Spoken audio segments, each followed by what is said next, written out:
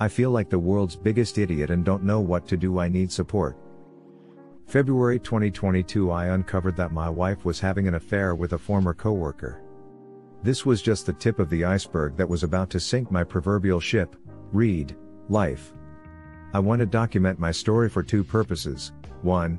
To readily share when I choose to let family and friends in, when the feeling of shame won't let me form the words, and 2 to get some targeted help for anyone unlucky enough to be in my situation. I have rarely opened up, even to those closest to me, so please allow me to be vulnerable. Some background my wife and I have been a college couple since 2010 and got married in 2017. We have lived across five different states in that time, and to preserve plausible deniability, I will not mention them by name. Home is our current home as well as where we were raised. To make matters even more complicated, we have two young sons, both under four. At D-Day, we both had full-time corporate careers which were demanding and my wife's job required a lot of regional travel. Additionally, she began investing a significant amount of time in her side hustle, which also required her to be out of the house most weekends. This was proving to be a very challenging point in our life, and it put a huge strain on our relationship as we were not living in our home state at the time and had zero relatives slash close friends in the state. It was becoming unsustainable for me to manage my increasingly demanding career, increasing parental responsibilities, and severe lack of sleep due to a newborn missing his absent mother. For the record, I was not fully ready to have a second child, but she inevitably persuaded me to do it sooner because her body, her choice in age of pregnancy, it got to the point where we discussed two options to help our family thrive that ultimately did not align to my wife's desires. 1 quit her full-time job and provide for our children full-time like she had wanted to do since college or two, relocate our family back to our home state so we can leverage our vast support network of family and friends. She was adamant on keeping her current role because it afforded her the ability to travel and have the time and space to focus on other things, and she never considered moving home after my many requests over the years so I was not surprised when she rejected the idea again. I could not understand where her priorities were, because it was clear that it wasn't anywhere near home. Ahead of some of her work trips leading up to February, we would find ourselves arguing over silly things. It seemed like she would look for fights over semantics or misplaced belongings, belittle me in front of our kids, and often ignoring me for long stretches of the day. We were both working remotely from our home, and there was a weird feeling every time she would leave the house for an upcoming trip. Almost an eagerness to escape, and a need to leave on the worst terms as possible. She would defy severe weather warnings to make it to these trips. Her wedding ring was forgotten at home many times, she missed our anniversary and dog's birthday for an important trip, with no call or text, and then I knew, it couldn't have been the work, there must be someone else. D-Day, on one of her earlier trips, she managed to lock herself out of her long since used smartwatch and left it with me so I could reset the watch. This was night one of four that she was set to be away, in the first of two locations. She wanted it reset, but I figured that I could avoid the hassle and try everyone's birthday until I got it right. Late at night, after getting our boys to sleep, I managed to figure out the password and was able to successfully unlock the watch. And then the messages started coming in. Pictures. Instructions on how to get a room key. Plans to rendezvous for future trips. Talks of running out of time to even have lunch after. Grievances over the weather potentially canceling their second stop on their romantical hotel room tour disguised as work trips. I panicked and called her out immediately. In hindsight, I should have taken my time, but I knew I would be unable to hide my emotions for too long. She ended her trip early to come home the following morning. Her first reaction was to deny, and then, after presented with my overwhelming proof, she reluctantly confirmed. She said it was a coworker that she had worked with years prior while we were living in separate states, and that they casually kept in touch over the years and started things after we moved to our new state. The three instances I uncovered was all of it, and that was all she was willing to divulge. I was crushed and couldn't reconcile some of the evidence that I had. Contact photos from a formal dinner that didn't fit into her alleged timeline. A lack of remorse from her after the discovery. I knew there had to be more. Over the next few days I would try to find more evidence on her phone and came away empty-handed, no surprise.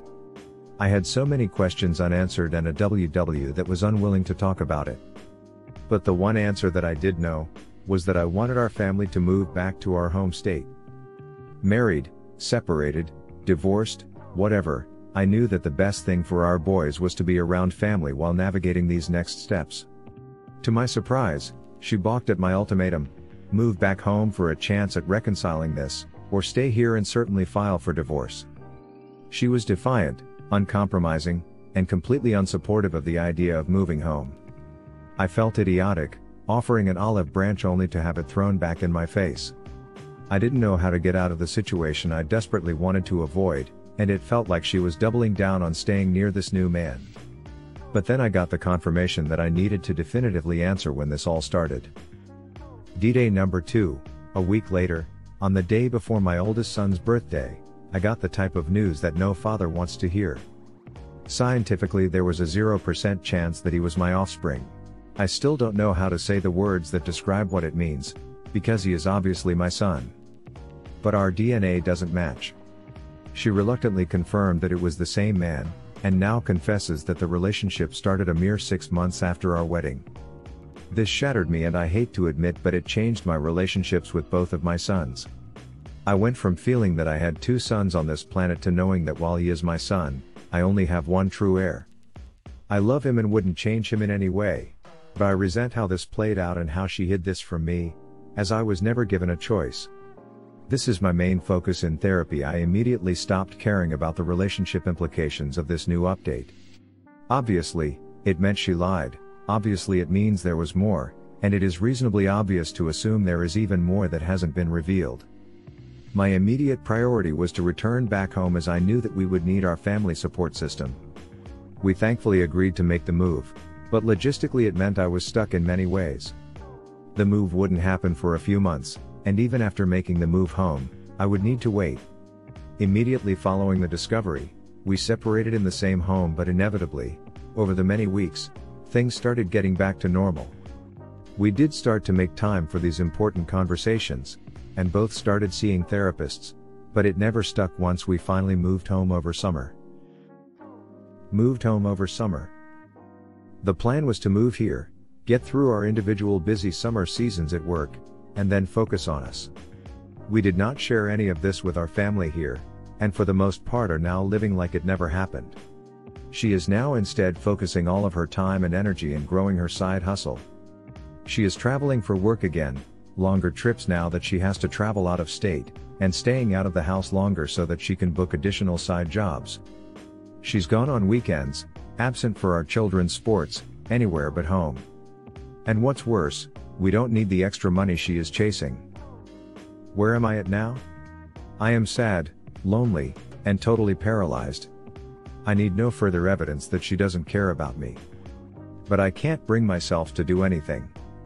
Because I prioritized the move, I feel like I played too nice and allowed us to just move past this. The lost reality of the family that I once thought has been hard to cope with, but I just feel completely stuck. Why can't I do the obvious? Separate from her, I have been struggling with this new reality with my son. The very few folks I have discussed this with have all mentioned that it doesn't change anything, which is a very noble mentality. However, it feels like it has changed, which adds guilt into the equation. Lost are the happy thoughts of he got that from me, and now I am left to question how much nurture I can squeeze in to displace as much of the nature. There are days that I wish I hadn't sent off the DNA test, but quickly remind myself that I needed to know this, and it was abundantly clear that my wife would have never owned up to it. If you are aware of any support groups for this, please share. Lastly, I feel lucky to have found out. It was very lucky that I was able to confirm what I had suspected. It makes me wonder how many other close calls I should have pushed harder on. Now I just need an exit strategy. Earl's thought story 2 after. Op you need more than an exit strategy, you need a set of balls. Having a kid by your AP is a direct disrespect to your marriage.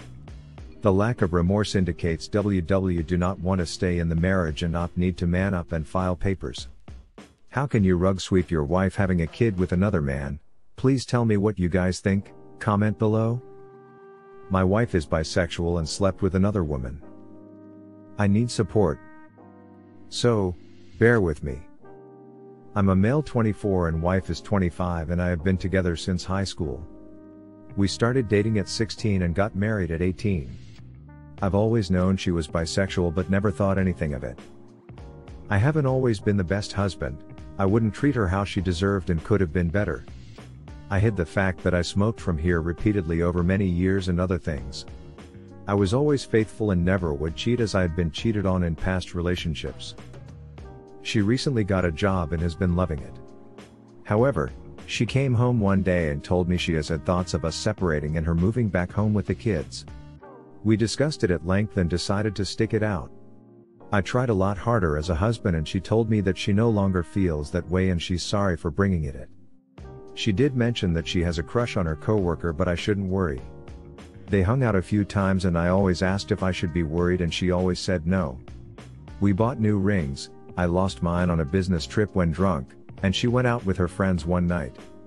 It was supposed to be a single drink then coming home, but about three hours later she said she was going to sleep over because she's too drunk to drive. I said fine just don't be dumb, I love you and I'll see you tomorrow. She came home the next morning and said she hasn't slept so she went to bed. She woke up four hours later and said she made out with her coworker, I was pissed but whatever. She went back to sleep for another couple hours and then we talked some more. She had full blown sex with her coworker because she never got to experience that side of herself. I want to move on, but it's so fucking painful. We still love each other deeply, but I don't know how to move on. This is a woman I saw myself living forever with, but looking at her hurts. I'm starting therapy soon, and so is she. We will also be going to couples counseling. She's expressed remorse and told me of what happened on her own, so she does seem guilty. Anyone have any advice for recovering and dealing with the hurt? I want to move on but genuinely don't know how. The mood swings are awful and I want all this to be in the past. Tia. Earl's thoughts. Listen to this again she did mention that she has a crush on her coworker but I shouldn't worry. They hung out a few times and I always asked if I should be worried and she always said no. Op when a wife or girlfriend tells you they have a crush on a coworker you should worry. She is telling you I'm about to cheat on you. What would you guys do if your girlfriend or spouse tells you they have a crush on a coworker? Comment below. I want to say thanks to all my subscribers. I have over 20,000 viewers but only 363 subscribers. Help me reach the 1000 subscriber mark if you have not subscribed please subscribe and like my videos. I will see you at the following story.